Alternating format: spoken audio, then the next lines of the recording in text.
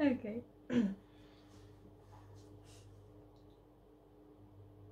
Hello, sir. All right, I'm Marilyn. Got me going now.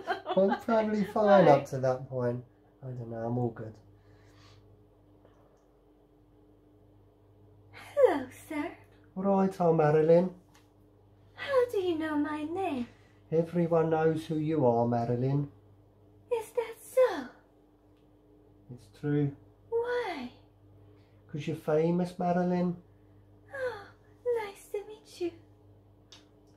A kiss on the hand may be quite continental, but diamonds are a girl's best friends.